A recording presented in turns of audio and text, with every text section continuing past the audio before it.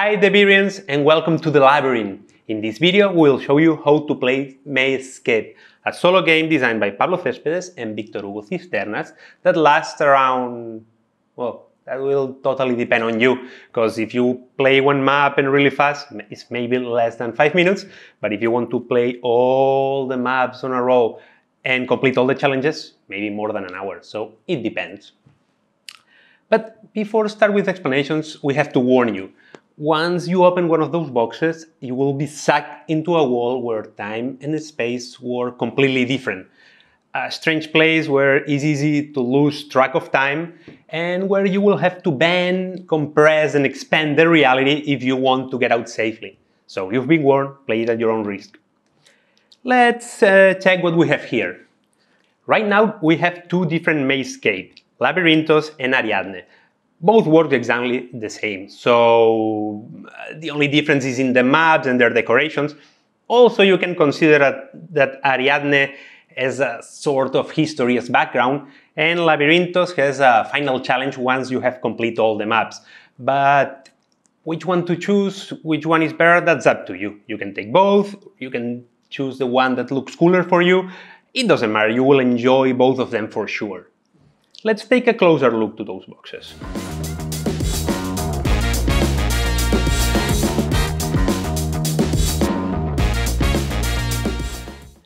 So once you open one of those boxes, you will find the rules in different languages, the pointer to track the, your path uh, through the labyrinth, and seven independent maps.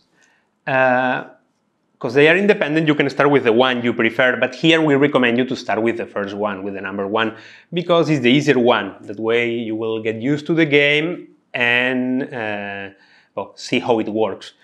And then follow the right order, uh, just to see how the difficulty will increase every time, and that way you will enjoy uh, the full experience of the game. But how to play Mazescape? It's really easy in theory.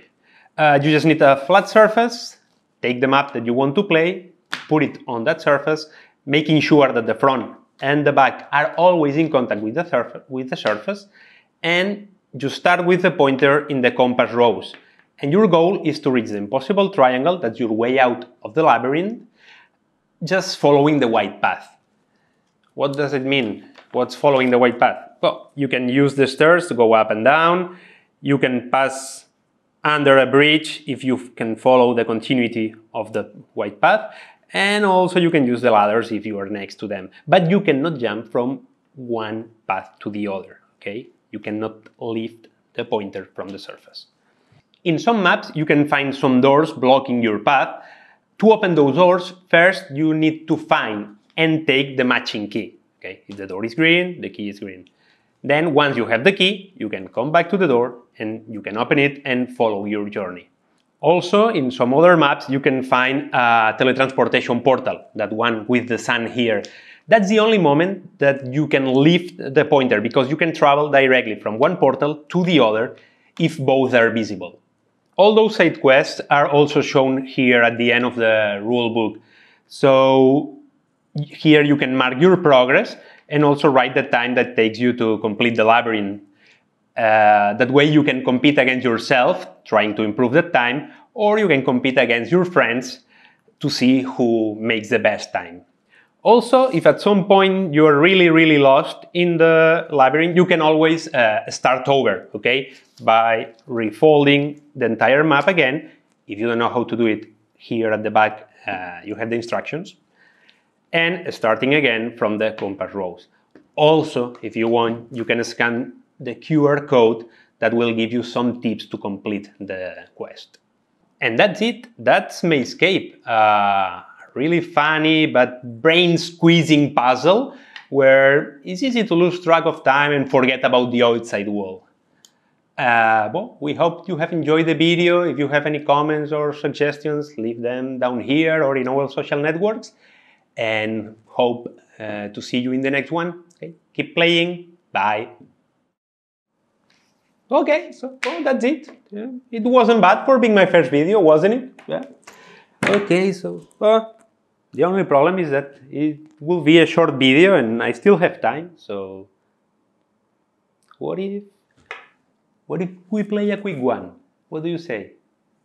Let's go in. Uh, so we start from the compass rose. It's important to remember where the triangle is because sometimes you start running in circles, you don't know where to go, and maybe you are in the opposite side of the triangle. So uh, let's try to remember that. And I don't know, let's start that way. We can unfold that section. Mm, yeah, looks promising so far. Uh, here. Uh, that's it? No way. Oh, maybe I did something wrong. No, fantastic. Okay.